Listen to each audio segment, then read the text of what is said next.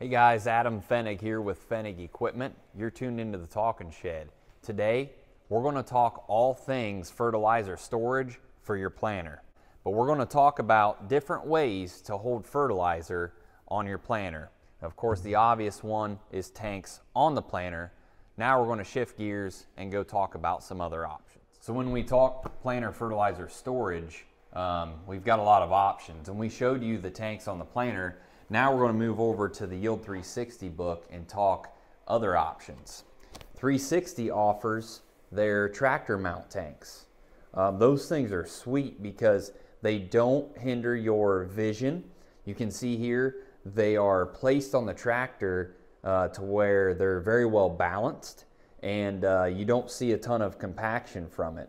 Uh, they're available on uh, most uh, John Deere and Case IH tractors and uh, they offer a lot of extra storage. I mean, you're talking 700 gallons and that's quite a bit. So that's off the planter, of course, on the tractor. So if you guys are looking for some other options on uh, storage, these Yield 360 uh, tractor tanks are something to look at.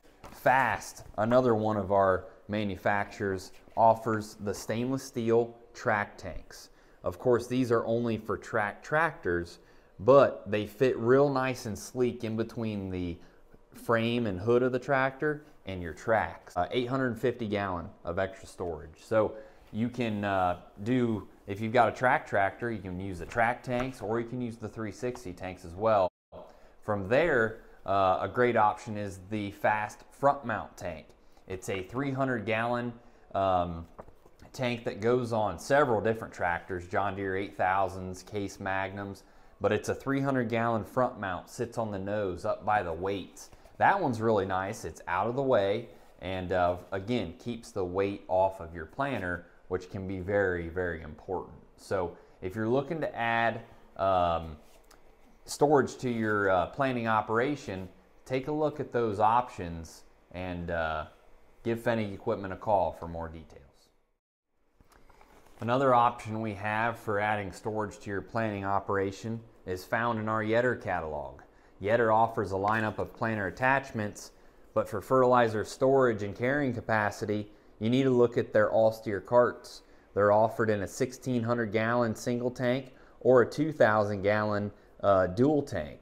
Of course, that dual tank can be plumbed together as well. But the real nice thing about these is as you're driving through the field, that uh, tank can crab steer. So on the ends, uh, you won't run over double the amount of corn from the lagging uh, wheels behind on the on the rear axle. It's going to crab steer whenever you turn. So real nice there. We've got these in stock here at Coldwater, Ohio, and Nova. And so uh, be sure to give us a call for all your planter fertilizer needs. We carry the pumps, the rate controllers, Keeton seed firmers, totally tubulars, and everything in between. That's what we're doing today, talking planter fertilizer storage. Thanks for tuning in.